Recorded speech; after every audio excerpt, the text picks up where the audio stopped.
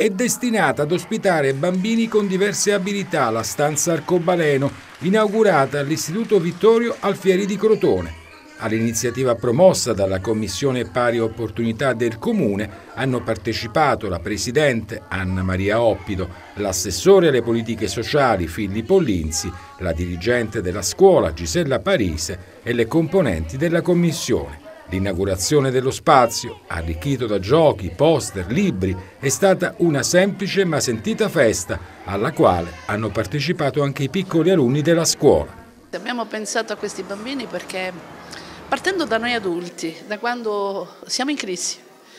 e vogliamo stare in silenzio, vogliamo appartarci. Allora abbiamo pensato che anche le scuole del Crotanese dovessero godere di quest'aula, va bene, destinata appunto a questi bambini. È un progetto ambizioso, questa è la seconda inaugurazione che facciamo, ad onore del vero la seconda con questa amministrazione, ma la prima partita dalla commissaria appunto Valentina Borrelli, che ancora prima che si insediasse in commissione ha voluto dare idea e quindi ha realizzato questo progetto. Progetto noi l'abbiamo sposato e l'amministrazione ci è vicina in questo, nel senso che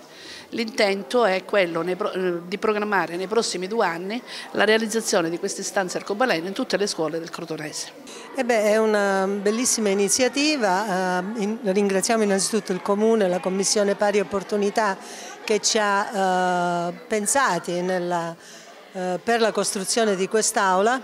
che eh, darà la possibilità ai, ai nostri alunni eh, diversamente abili nei momenti in cui necessitano di eh, un momento di solitudine, di non stare in classe, di eh, in qualche modo ritrovare se stessi,